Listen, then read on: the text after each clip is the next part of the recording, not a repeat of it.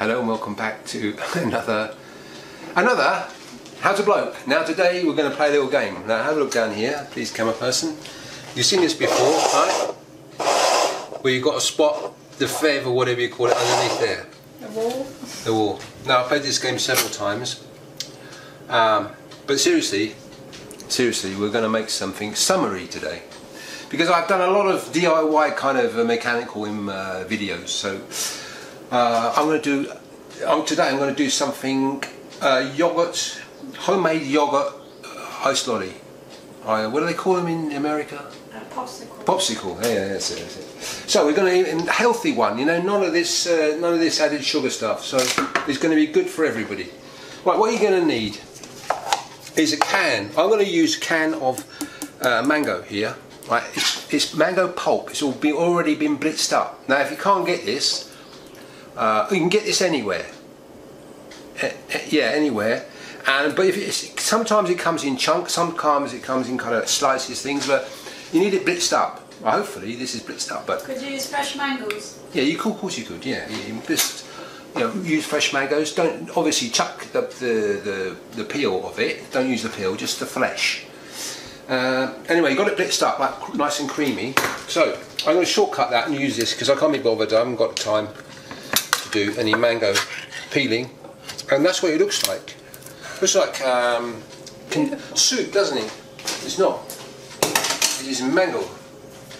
And looking on the tin, it's got some sugar in it. I mean, you might be able to find something that hasn't got any sugar in it, but obviously fresh mango doesn't. So we're going to pour that in there like that. Well, fresh mango's sweet enough anyway, isn't it? So. Yeah, I mean, this has natural sweetness. So that's really fine. That. Now we're going to use the yogurt we're going to use for this is Greek yogurt. You've got to have a thick, creamy yogurt.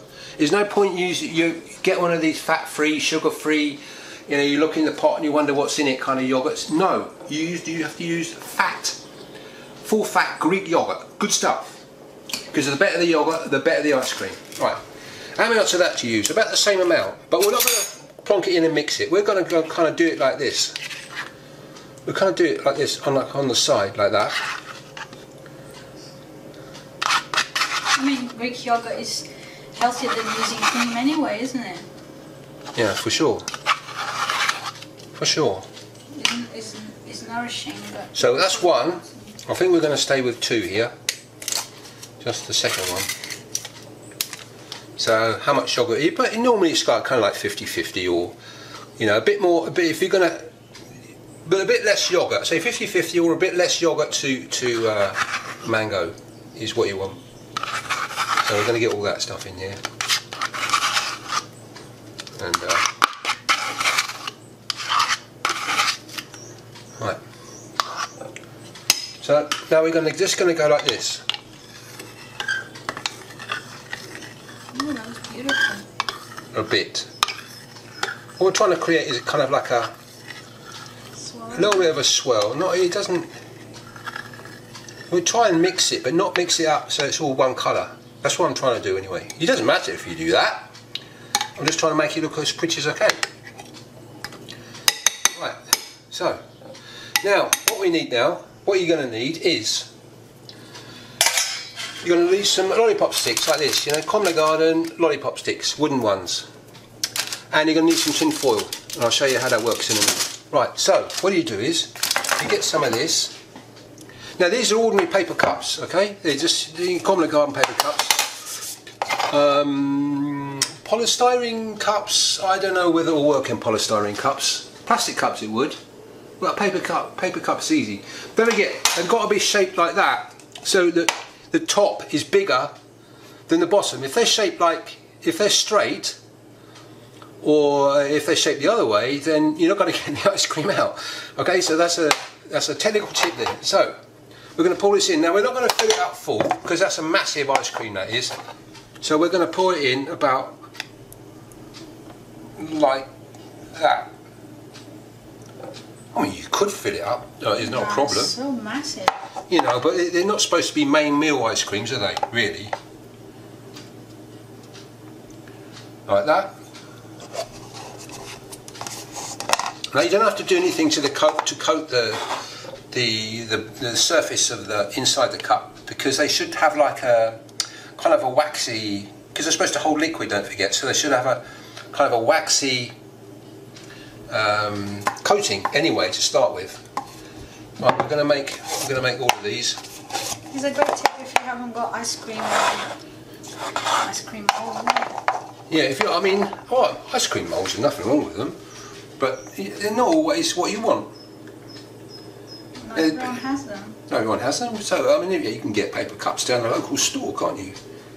You get a tin, tin of um, mango or something, yeah, you know.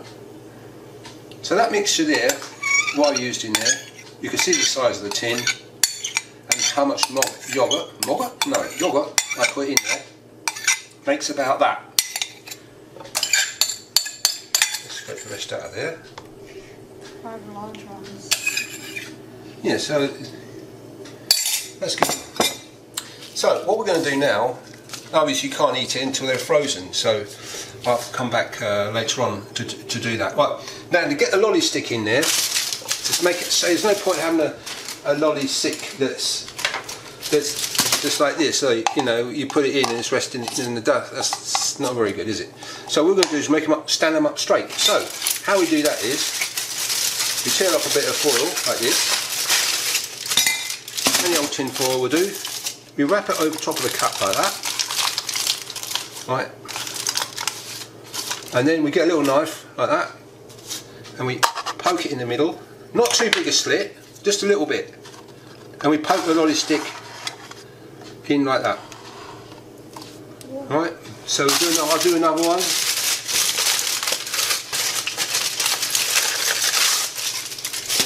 So,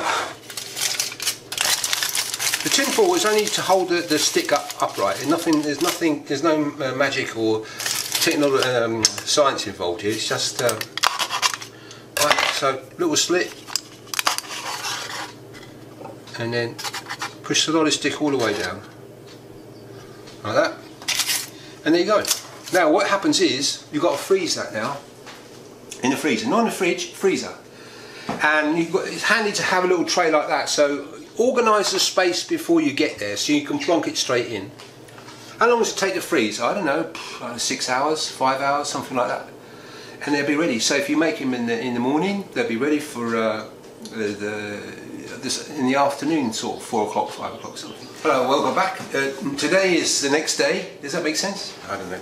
Look, these things here, these um, uh, homemade. Uh, popsicles or lollipops, right? They've been in the freezer overnight, okay? Uh, you don't have to put them overnight, five or six hours is good. Okay, let's have a look at this. Now, if we take this off, right, this is the foil, and that is what you see inside, okay? So what you do with the car, you kind of, you might need a pair of scissors. You get a pair of scissors like this, just give it a, you just got to make a start with a cut really. And then what you do is you peel it like this. Hopefully it'll work first time. Normally it does. Like that. Try not to handle it too much. And there you go. That's what it looks like close up, ladies and gentlemen. So that's yogurt. And this one particular one is yogurt and uh, what did I say it was? Um, Mango. mango pulp. Yeah, that's it. As I say, you can get it in tins. If you can't get it in tins, then um, blitz up a mango, but minus the skin, of course. There we go. Now that, that that's doable, isn't it? You know, people can you can buy lollipop sticks in most anywhere. You can get uh, paper cups from somewhere. You can get this the ingredients, the thick Greek yogurt type thing, brewed yogurt. You know, um fermented yogurt at a supermarket, and you can get the the fruit as well. So, I think the children would like this one. This is natural, a yogurt and, and fruit. You can't go wrong with that. Have a look on the tin, of course, when you buy the buy it. If you want it super super uh, healthy, have a look on the tin of the fruit before you buy it because uh, it might have a lot more sugar than you think. But you know, it's good. Let me try. It just come out the freezer though. Even when it's cold, you can get you can get the flavour of that. It's for homemade ice cream. Uh, sorry, homemade lollipop, popsicle, frozen one is good. So, okay, I've got some um, uh, no cooking up here. I've got some quick tips here. I've got some DIY jobbies down here, and if you want to subscribe to me, it's down there. So until next time.